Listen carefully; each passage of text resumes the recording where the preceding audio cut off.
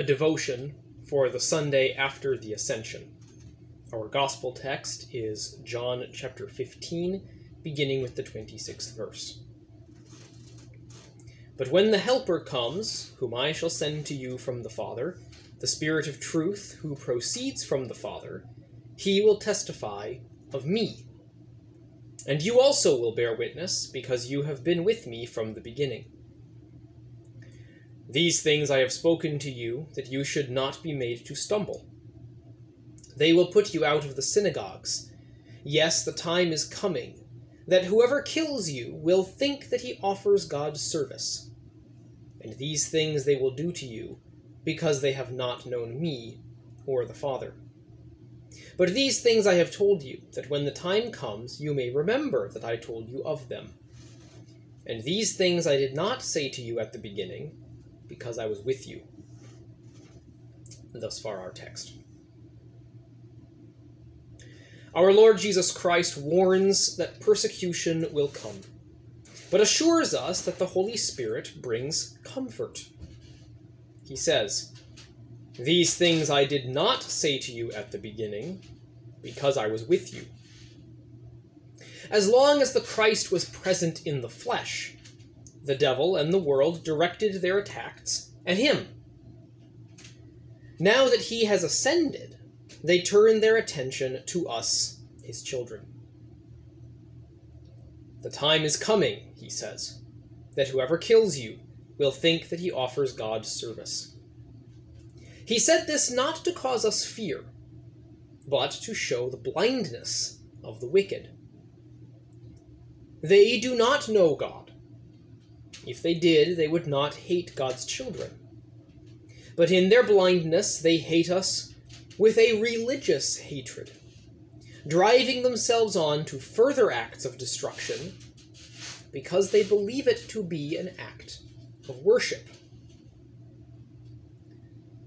As lies do violence to the truth, we should not be surprised when unbelievers commit violence against us and that with religious zeal. For our part, this should move us to pity. They can do nothing lasting to us. Our souls are safe with Christ, and our bodies will be resurrected on the last day. As the 56th Psalm prays, What can flesh do to me? Therefore, all the hatred and violence of the wicked is to their own hurt, though they do not know it. Unfortunately, while we should feel pity, the reality is that we feel fear and anger. But our Lord Jesus Christ is the solution. He sends the Holy Spirit to comfort and to teach us, to preserve us in the one true faith. He will testify of me, Christ says. Therefore, the most comforting message is that of the only begotten Son of God, who became man in order to suffer and die for the sins of the world, and to rise from the dead for the salvation of mankind.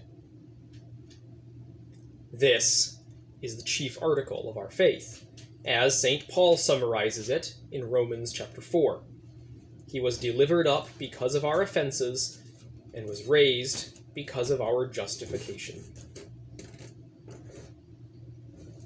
This gospel message is for the salvation of the unbeliever and for the preservation of the Christian. And the gospel never changes although the Holy Spirit continues to apply the gospel to us in new ways. We always need the forgiveness of sins, because we remain sinners in the flesh. But there is a difference between the repentance of the unbeliever and the repentance of the believer. The unbeliever has never known forgiveness. So when he repents, through the work of the Holy Spirit, it is truly life changing.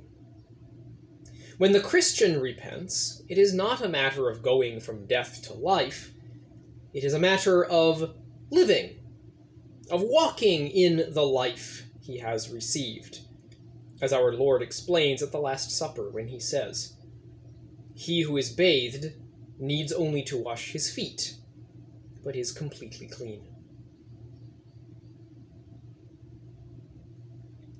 From the Catechism, we learn that we have three enemies the devil, the world, and our own sinful flesh.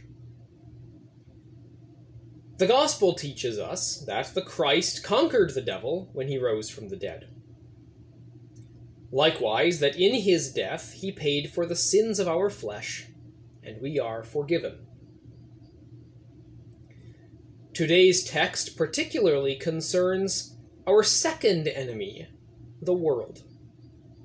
Our Lord says, They will put you out of the synagogues. Yes, the time is coming that whoever kills you will think that he offers God service.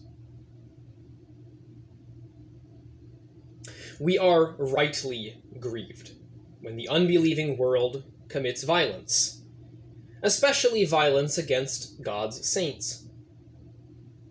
Whether it is physical violence, or violence done against the truth through sinful teaching and life, this is the fruit of unbelief.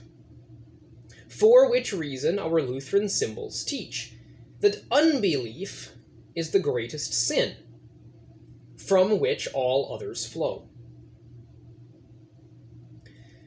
But our Lord warns of these things in advance, so that we would not be caught off guard. He says, These things I have spoken to you, that you should not be made to stumble.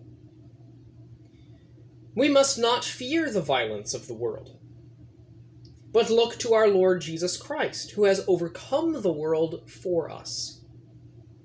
As he says, In the world you will have tribulation, but be of good cheer. I have overcome the world.